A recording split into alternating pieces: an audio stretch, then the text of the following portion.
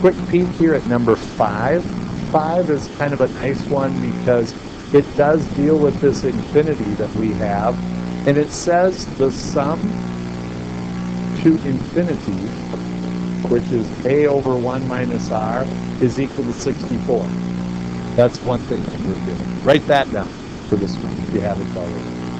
The other thing it says is the second term of the geometric sequence is 12.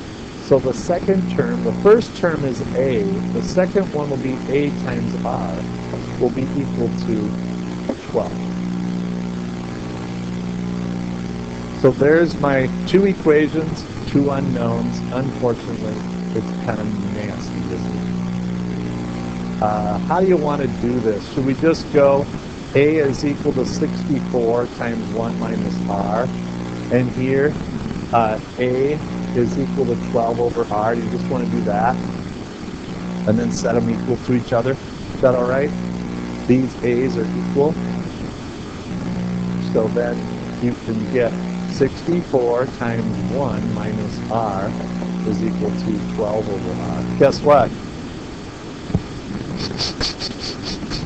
What's this going to turn into? Do you smell it? Do you smell it? Oh, I'm quadratic. You're right. So you're going to get 64 minus 64r equal 12 over r.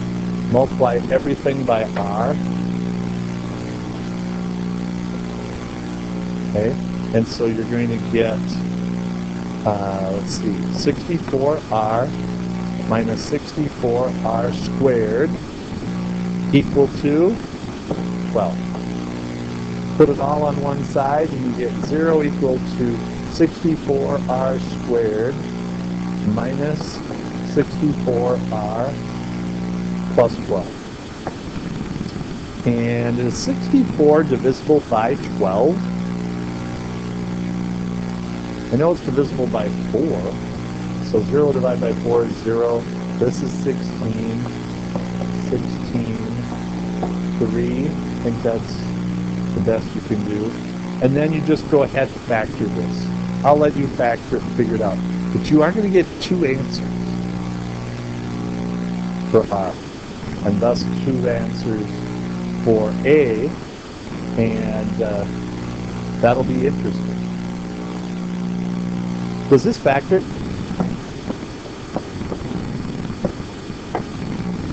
Let's see, uh, 2 and 8, maybe? What's that? Um, this is positive. This is negative. So I move that over, that'll be positive. Move that over, that'll be negative. This is positive. Nope, I think it's good. But uh, 16, 44. Wondering if this will work. 4r, 4r, minus, minus. Does that give you the negative 16 middle term? I think it does. So you're going to have two cases. You're going to have 4r minus 3 equals 0, and you're going to have 4r minus 1 equals 0. r is going to be 3 fourths. r is going to be 1 fourth. So then, once you know that, now you can go back. Remember, 12 was equal to a times r. So if r is 3 fourths, you're going to get, um, let's see, 12 times 4 is 48 divided by 3. A is going to be 16. That's one.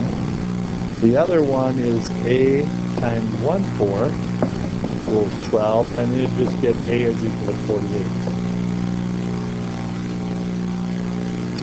And then just go ahead and figure out those first three terms. But I think that's good. You'll get two sets of answers. Is that weird? It is weird. It's like quadratic.